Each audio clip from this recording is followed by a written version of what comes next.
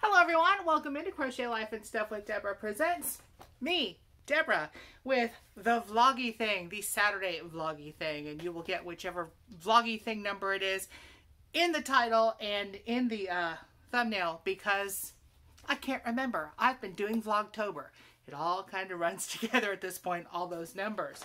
Lots of stuff to go over today, despite being the Vlogtober thing and doing a video every single day. First, I want to jump into some Happy Mail. Now, look, cubes, and they're empty right now. Um, I actually have a set of these over there.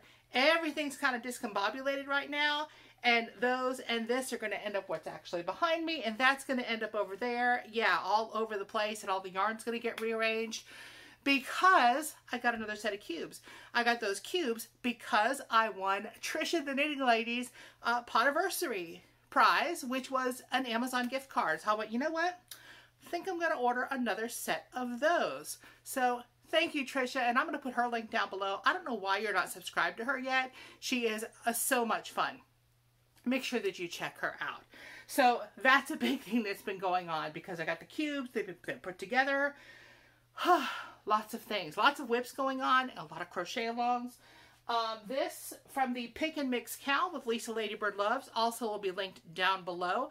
My main color is a Super Saver Ombre Stripes in Latte Stripes, which is this bottom chain row and the bottom uh, extended linked double crochet all the way across. Going to be kind of a lapghan size for me. Then I have four rows of hell, basically, uh, also known as the waistcoat stitch. These fingers right here and my thumb still feel like they're blistered, even though they're not actually blistered from trying to push those stitches through. Yeah, no more waistcoat stitch. No. Okay, and then I went ahead and did next week's. Sorry, Lisa, I got ahead because I know I'm going to be working next week. And did my two rows of my main color in my main stitch so that that is done and I'll be ready to go for whatever stitch comes up next and whatever color comes up next on the spinny wheelie thingy. Also, in the sort of ongoing WIP category is my Crochetober vlog tober project, my little scrappy blanket. I have not put on today's colors yet. We went to uh, camouflage and some brown there, and we're going to get bright on the next round because I see it sitting in there. That's what's next. That is a thing, and I kind of, this has been fun to watch this grow.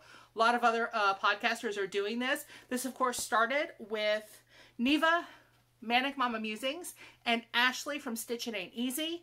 Um, them and Cynthia's Crochet and Morme, and Ella from No Catchy Name, and Kayla, Llama Mama Kayla, and I think some others that I'm forgetting. I'll try to link everybody down below so you can see how everybody's blanket is growing. It is so much fun to see everybody's podcast every day and to see the blankets and see what colors everybody is doing. And some people actually have big spiders on their blankets.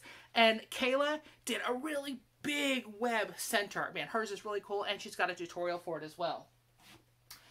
Also, towels. Y'all know I'm kind of obsessed with the towel toppers. I have some that are in progress, like this guy here.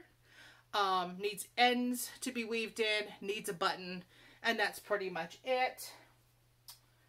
Uh, the same with this one. Oh, I've got just a stack of them here. And I have this one that is just got the top put on it.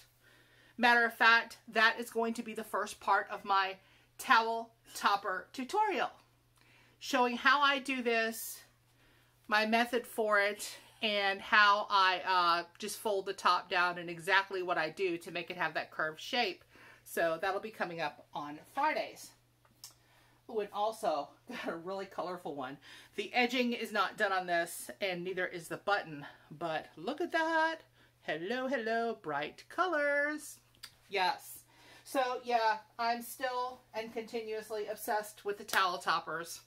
I can't help it. They're fun and easy to do. Something you can do in the car or in front of the TV. The hubby blanket has received absolutely zero love because of all these other things going on. And I have a feeling it's going to be pushed to the side a lot because I go back to work Monday. Yeah, I know. Uh, I've been on vacation this past week.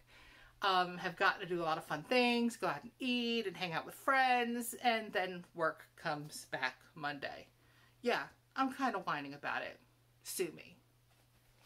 All right. my three color challenge, remember the three colors that were chosen for my three color challenge were three chenille colors. The Just Chenille White, the Just Chenille Black,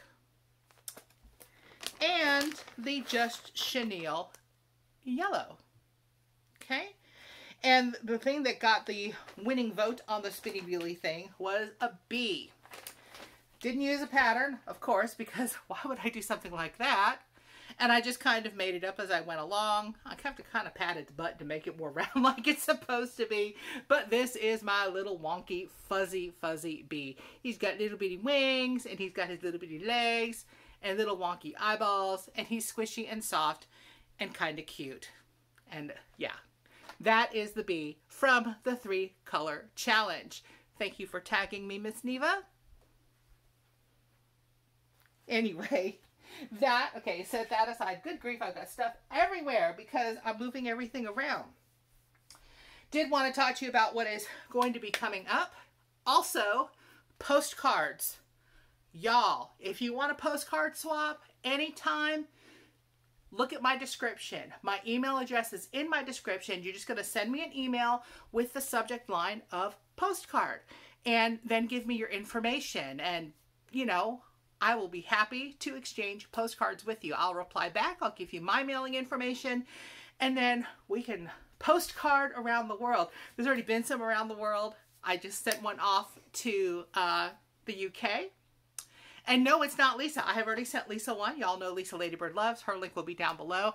I have sent somebody else one. Abby, it's on the way. Woohoo! Uh, some all around the country, and it's just been fun. I actually bought a couple of sheets of postcard stamps, y'all. Yes, I am in for the postcards. Love it. I think it's fun. Good luck to people trying to read my handwriting. No, I'm just saying my handwriting is awful. Yeah. Some other things that have gone on. Oh, yeah. I got a boo-boo. Kind of hard to see. The very tip of my finger. Y'all know I like to cook. I had a new mandolin that I wanted to try out. And I had a cucumber and I was on the cucumber and it went a little faster than I expected. Shaved off just the tippy tip of my finger. Yeah, I know better. I did it anyway. It's all good though. I was the only one eating the cucumbers, so I didn't care. It was like just a little bitty bit, and it's red there at the tip. I will live, but I'll still show people my boo-boo. Got a boo-boo. I need to put a band-aid back on it because I'm going to do a lot of stuff around here.